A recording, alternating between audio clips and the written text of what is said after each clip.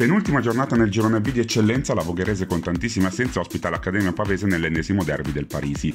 Nonostante la formazione rimaneggiata e la Voga a partire meglio, sponta di Gio per Selmi, il centrocampista si libera di un avversario ma il diagonale si apre troppo e finisce non di molto alla destra di Migliari. Avvio positivo quello dei rossoneri, Dio mette giù un altro pallone stavolta parte a tutta velocità involandosi verso la porta.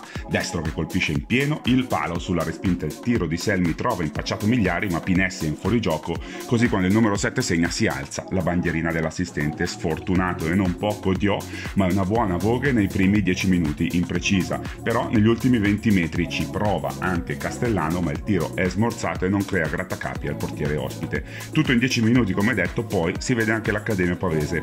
Prima il tiro a giro di Bonelli, largo non di molto, con De Toni che però controlla il pallone uscire alla sua destra. Successivamente pericoloso Maione che fa tutto bene nel liberarsi per la conclusione, ma tradisce proprio proprio al momento del tiro e De Toni controlla.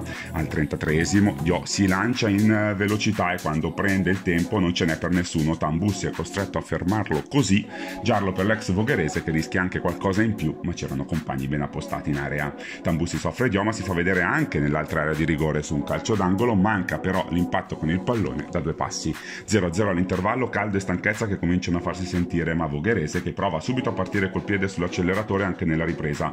Castellano serve Casella appena entrato che però si perde dopo il dribbling sull'uscita di Migliari. Vogherese Caparbi anche nel tener vivi palloni ormai persi, un emblema è eh, Castellano e Dio che riescono ad ispirare Cavaliere. Cavaliere ritrova Castellano, il numero 11 salta un avversario ma poi la conclusione è completamente da dimenticare e anche Martignoni si dispera.